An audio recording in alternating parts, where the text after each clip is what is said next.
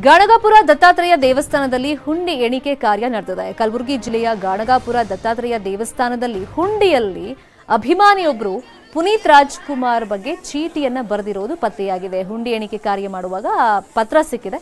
ಪ್ರಭು, ಮತ್ತೆ ಪುನೀತ್ ಸರ್ ಅವರನ್ನ ಭೂಮಿಗೆ ಕಳಿಸುವಂತ ಪುನೀತ್ ಅಭಿಮಾನಿಯೊಬ್ಬರು ಚೀಟಿಯನ್ನ ಬರೆದು ಹುಂಡಿಯಲ್ಲಿ ಹಾಕಿದ್ದಾರೆ.